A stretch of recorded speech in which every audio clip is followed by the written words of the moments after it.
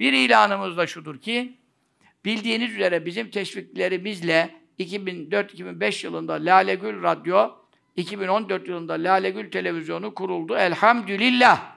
O günden bugüne ehli sünnet çizgisinde hiçbir kadın sesi bile yayınlamamaya direnerek reklamların yarısı bu yüzden kesildiği halde ve borca battığı halde yine de size çıktığımız günden verdiğimiz sözü tutmak üzere hiçbir kadın görüntüsü ve sesi dahi duyurmadan 19 sene, 20 sene elhamdülillah bu hizmeti sizlere takdim eyledik. Amin.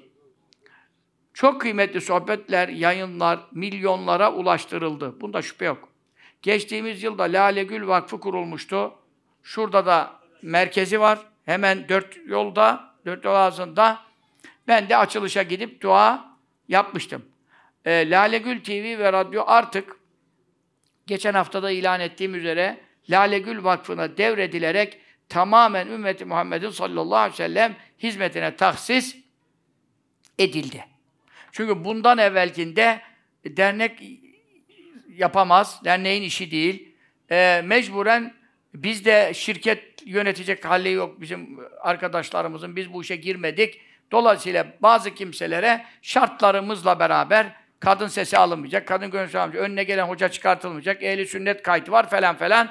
Şartlarımızı takdim ederek burayı borçlandırmayın, harçlandırmayın, e, kapattırmayın, sohbetimize devam edelim demiştik. Bugünlere kadar gelmiştik. O arada bazı el değiştirmeler oldu, borçlar çok oldu falan. E, nihayetinde o borçlar vesaire yine arkadaşların içeriden katkılarıyla bitirildi. Borçsuz, harçsız olarak Lale Gül Vakfı'na teslim edildi. Çünkü biz faniyiz. Onun çocuğuna e, efendim biz e, bir arkadaşa şuraları o zaman benim üstümdeydi. Ya benim üstümde kalmasın dedim işte 15-20 sene evvel. E, bir bak çünkü ben devamlı hapse giriyorum falan. E, hacizler oluyor. E, sen bir arkadaşı devrettik. Niye? Dolu arkadaş var. Çocuğu yok diye devrettik. 15 sene çocuğu olmamış. 2 sene sonra çocuğu oldu. Ben de dedim ki ya arkadaş çocuğu olmayanlara biz biraz mal mülk emanet verelim. Birkaç senede çocuğu oluyor zaten. Otomatiğe bağlamış Mevla Teala. Ondan sonra bu iş nereye kadar gidecek? Dedik ki arkadaş şahıslarda kalmasın. Dernek e, ama derneklere verilmemesinin o zamanki sebebi de neydi? İkide bir derneklerin mallarına devlet çöküyordu. Ve 28 Şubat biliyorsunuz külliyeyi ne yaptı? Çevik bir koca külliyeye çöktü. Bunları yaşadığımız için hani şahısım üzerinde emanetler daha korunuyor diye bir durum var. Ama bu saatten sonra ben gelmişim 60 yaşına hiçbir derneğin vakfı mütevellesine girmemişim. Oğlumu, çocuğumu, yakınımı, damadımı sokmamışım. Ben Müslüman ümmete güveniyorum. Diğer dernek vakıflar gibi hepsinde aynı üçlü. Hepsinde aynı üçlü varsa bazı derneklerde, vakıflarda, dört dernek vakıf bir camiada, hepsinde aynı üçlü. Bu ne demek? Beşte üç, ekseriyet bende. Niye? Müslüman mı bitti? Biz Müslümanlara güveniyoruz ve kendimizi işin içine sokmadan ben doğru yoldaysam, sohbet yapıyorsam o da bana sohbet yapma demez. E ne olacak sonra? Beni sokmaz buraya. Tamam ben de yanlış yaparsam sokmasın. Değil mi? Ama maalesef camialerde bu durum yok. Dikkat edin mütevellilere. Hep aynı üçlüler olursa tamam. İkinci de aynı üçlü. Üçten, üçünden aynı üçlü. Dördüncü de aynı üçlü. Cık, olmaz. Sen kimden neyi saklamaya çalışıyorsun? Hatta bu nedir yani? Holdingleşmedir o. O iyi bir şey değil. Bizim hiçbir vakıfta ben yokmuşum. Diğer arkadaşlar Müslümanlardan güvendiğimiz hepiniz de olabilirsiniz asbel kader. Niye? E, Müslümana güveniyoruz ya. Durum budur. Bu vakfa e, radyoda, televizyon beraber e, devredildi. E, Lale Gül Televizyonu ve radyonun Lale Gül Vakfı'nın malı olması çok güzel oldu ancak bundan sonra bu kurumun yayınlarının devamı, kalitesi ve dünyanın birçok yerine kutlu mesajın ulaşması sizlerin Lale Gül Vakfı'na desteklerinize bağlıdır. Vakıf olmadan evvel biz bunu diyemiyorduk. Çünkü bir adama yönet demişiz. Ama şimdi vakıf olunca burada ne yok? Ee, zaten ümmetin malıydı ama emanetlerle yürütülmüştü bugüne kadar. Şimdi vakf olunca ben size bir sohbet yaptım burada. Ne dedim? Türkmenistan'dan, Özbekistan'dan kaç yüz milyon Türkiye Cumhuriyetlere biz eskiden yayın yapıyorduk. Bütün evler ocaklar bizi dinliyordu. Orada bütün evler ocaklar bizi dinliyor. Öyle Türkiye gibi değil. Bunun verileri var. Türkmenistan beni vize vermiş, şey, kabir ziyaretini almıyor. Çünkü neden? Her evde biz dinlendiğimiz için. Kapıdan girene polis cübbeli dinliyor musunuz diye soruyor. Tabii oraları ben iyi biliyorum. Yani haberlerini iyi biliyorum. Buradan fazla tanınıyorum oralarda.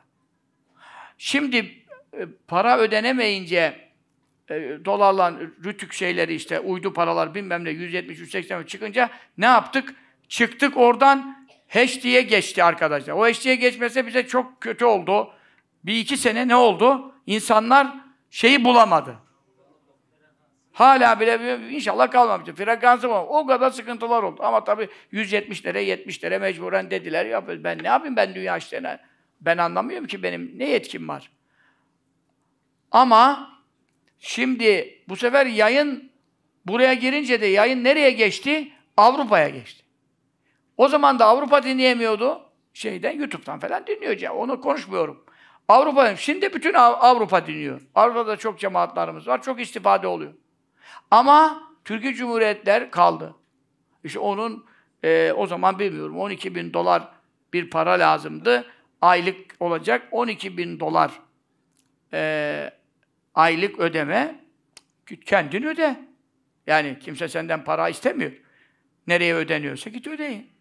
12 bin dolar ödense Çin'e kadar Çin dahil 400 milyon ümmet dinleyecek. Böyle bir hizmet var. Bu da neye bedeldi biliyor musun? 100 tane, 1000 tane külliye yapmaktan daha önemlidir 50 milyon, 100 milyon insana sohbet ulaştırmak. Çünkü ah yapıyorsun, kaç kişi geliyorsun? Ama şimdi televizyondan kaç kişi dinliyor? Yüz binler, milyonlara ulaşıyor.